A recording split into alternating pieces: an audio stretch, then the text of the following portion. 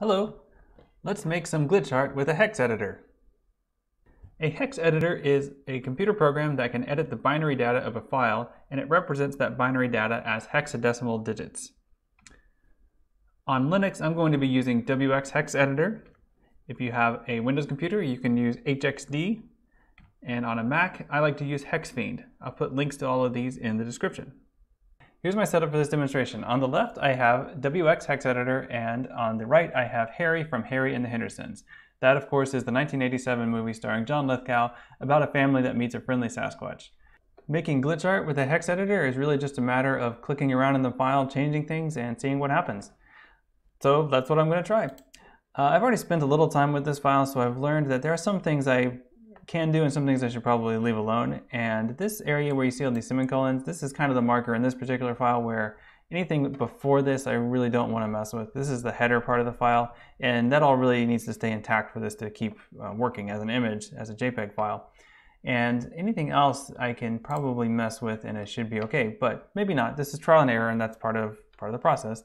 Let me just try something really simple down here. I'll just insert a letter R and because I'm very early on in the file here, just a very small changes can make a big difference sometimes. Let's see what happens here.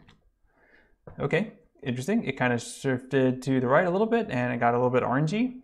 So that's neat. Let's see what else we can do. Let me add a G and maybe an E and how about a Q? And let's scroll down a bit further and add a quote mark you know, just doing a little bit at a time here, seeing what happens. And whoa, okay, so it got super red.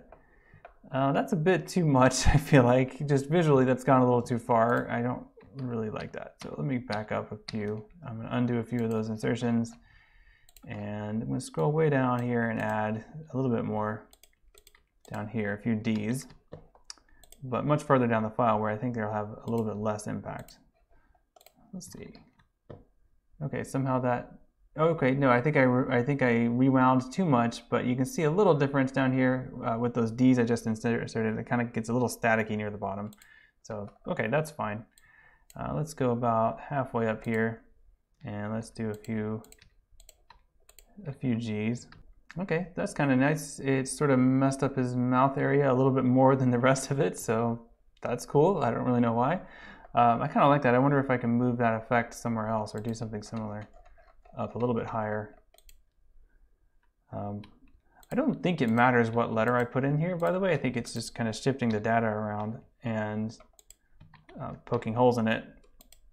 So I don't know if it matters what what letter I do. I guess I could experiment and find out. But yeah, okay, so it kind of moved that effect up the side of his face a little bit it's still looking it's looking kind of busy, kind of messy, but I'm gonna keep going anyway, just for you know why not? let's see what we can do. Now let's go back up near the top and see if I can do something a bit more dramatic. Um, if you're early on in the file, again, there's a risk of messing it up to the point where you can't use it anymore. But there's also the potential that it could make a pretty big difference. So I just put a square bracket in. No idea what's going to happen. Okay, kind of got red and shifted to the left a little bit. That's fine, I guess. Uh, let's do a couple more edits. Just a few letters up here. And let's see what happens. Okay, just kind of got yellow. You know what? I want to make it. I want to make a more dramatic change than that. Let me see what else I can do here. Just clicking a bunch and seeing, seeing what happens. You know, just throw it out there. Okay, there we go. I've kind of erased the bottom half of the image. That's kind of nice. It's one of those things. It's trial and error, see what happens, and sometimes it's great, sometimes it's not. You know, this glitch method, as you're seeing, does this kind of horizontal banding. So it does something and then everything after that particular row is affected. It might be interesting to play with that a little bit. Um, so what you can do is actually just rotate the image in a photo editor, the, your glitched image, keep glitching it and then rotate it back or do something else with it. Here I just rotated it to the right and then mess with it a little bit more. One thing you may run into, and I did run into this, is that uh, because you're breaking this JPEG down, it, it, may not stay broken the way that you want it to look. So if you arrive at a way of it looking that you're happy with, Uh, the best way to keep it looking that way is actually to take a screenshot of it, and then that screenshot of it is the new image that you glitched. Um, like if you try to upload it to Imgur or Twitter or Instagram or something, it may look different than it does on your computer, even though you've glitched it into the, the form that you like. And that's really all there is to hex glitching. You open a JPEG file in a hex editor, mess around with the data, and see what happens. And that's it. Have fun.